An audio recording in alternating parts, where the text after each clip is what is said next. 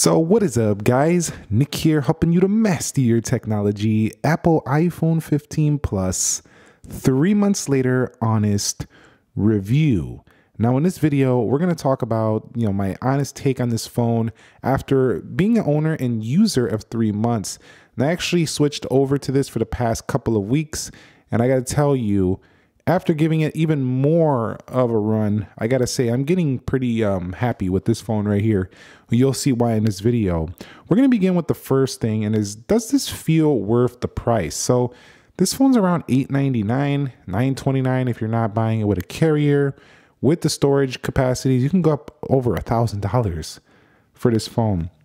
And when you think about the iPhone 10 from about five years ago, giving you a smaller 5.8 inch screen for 999 dual camera. This now has the 10x zoom that you would have got on the iPhone 10. This seems like a good deal right now. This is a much bigger phone, has OLED display just like iPhone 10. It does have a dynamic island now. It's, while not comparable to the 10 in terms of the price, if you look at it in that perspective, it's a pretty darn good value. But when you look at older phones like the 13 Pro Max that still have 120 hertz, it's kind of a little bit more questionable. And the market has a lot of phones now that is um, kind of nice compared to this in terms of the price point, like a Pixel 8 Pro, for example. So it's a little bit tricky, but if you just got to have Apple and you want it under a grand, I think it's a pretty decent deal.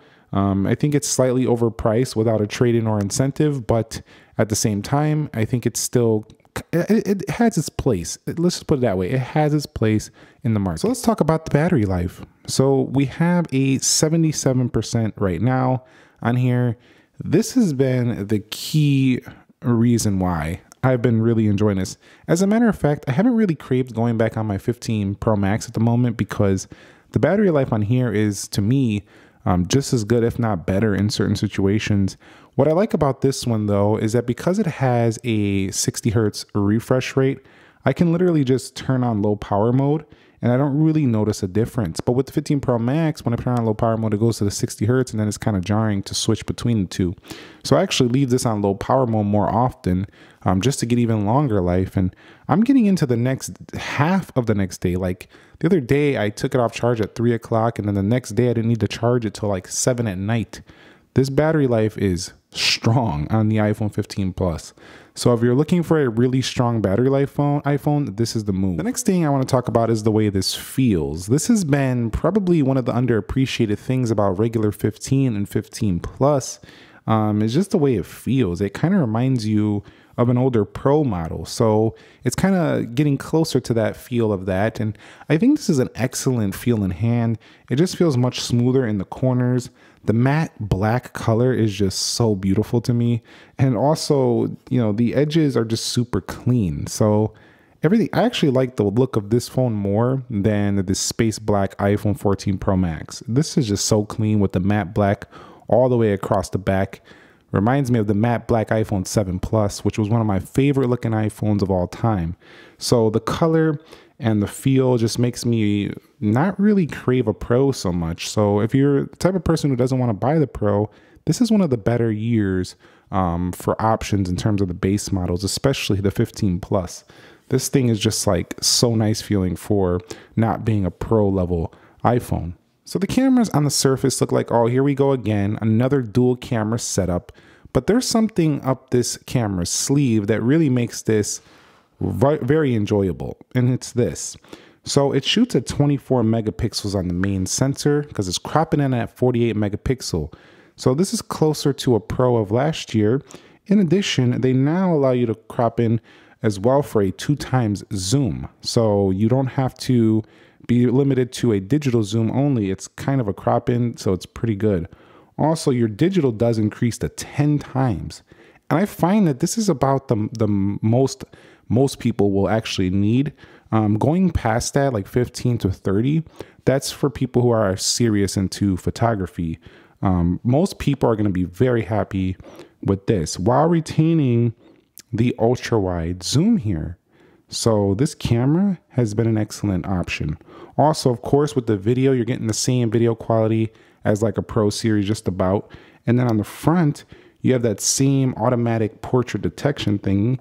So when you go to the photo, It detects the face, automatically detects portrait mode, and Smart HDR5 means that the results that actually come out of this camera are pretty insane. Like, especially outdoors, they look better than the iPhone 14 and the 13. So, I really just love the camera on the base model this year. I think it's a nice upgrade. It really is. And especially for those who always thought there wasn't enough zoom, I think there's enough zoom now on the base model for most people. Maybe in the future we'll have 15 times on the regular model. And yes, there's co competitors have even more. But for me, this has been enough. And um, the results that turn out of this are pretty much on par with the Pro uh, in most scenarios. Just the Pro has a little bit more if you want to go a little bit deeper. This is still a really excellent option, even though it just looks like a basic iPhone camera setup. So I'm not going to talk too much about this, but the USB-C port has been something you got to get used to if you have a lot of lightning cables. I find myself still trying to stick a lightning port in there, a lightning cable in there. So this takes a little getting used to when you get into this, but it's um it's a great addition considering that the iPad has it, the Mac has it. But if you're a type of user don't have a lot of USB-C products, this does take a little getting used to. Also, it's a little bit slower than the iPhone 15 Pro Maxes and a lot of Android phones. So it's not seeming like a great value there. But at least it's there, and we needed it because it's going to become the universal standard. It already has been for a while.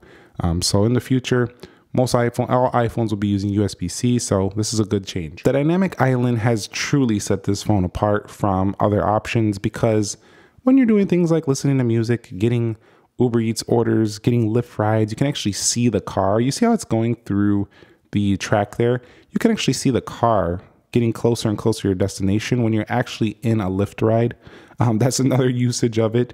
In addition, you could set timers, which is supremely useful, especially let's say you're cooking or something and you need to just set a timer really quickly and you need to see it up there. You actually can um, just check it without having to go into the app all the time. It's very useful, especially when cooking. You actually have two timers at the same time and you can answer calls up there, which is not that useful, but it's there.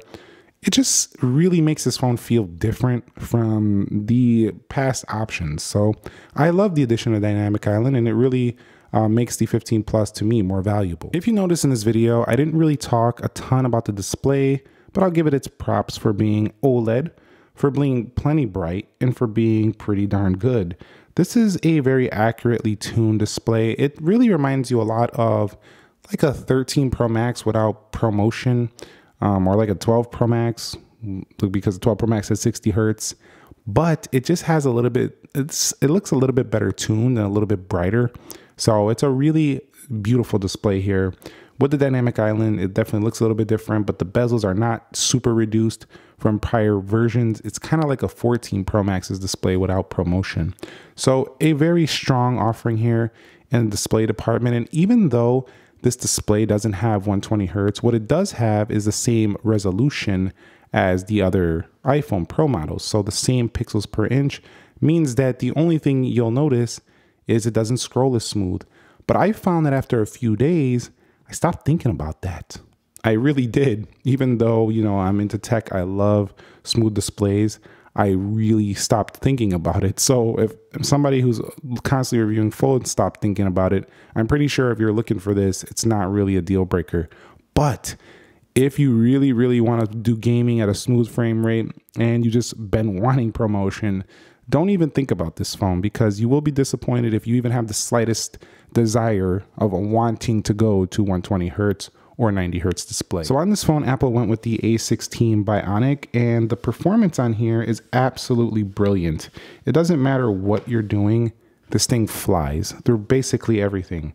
The thing though is this is one area I will say, the refresh does make this phone appear slower than it actually is. Um, just because of the way it scrolls. But 60 hertz and the way it, the animations look, they just appear a little slower than like a 14 Pro Max, 15 Pro Max, maybe even 13 Pro Max. But I kind of liked it because, you know, I feel like with the ProMotion, I want to play on my phone all day because it's so silky smooth and fast. With this one, it just feels like your basic everyday large iPhone for just using it as a tool. And it really hasn't affected much at all. This phone is a boss performer, regardless of the fact that you're not getting the ProMotion. Three months later, with phone call quality and reception, you can see it's been superb. regardless of the fact that this is not, you know, the highest end model, it gets still gets the same type of antennas, the same type of performance. So in that respect, it's a go. So after three months of ownership with the iPhone 15 or 15 Plus, I wanted to um, just say it's been the practical choice. This phone has felt pretty amazing to use. It gets all the same software updates. It feels just like a 14 Pro Max besides having ProMotion. The matte black is just sexy in my opinion. It's a really beautiful color and it just feels like a really practical choice three months later. I still think it's a great option if you don't want to go all out for a Pro Max. And I like the direction they're going with this Plus because if they made these nice premium changes, maybe we'll see a 90 hertz or 120 hertz on the next model.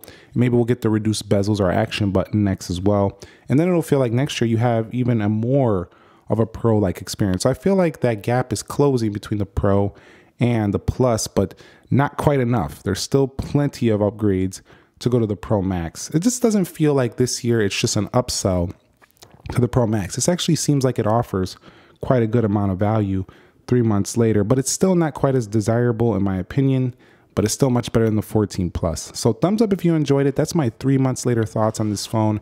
And uh, let me know if you're going to pick one up or if you already have one, to share the experience. I'll catch you on the next one. Nick here. Be sure to be well and peace.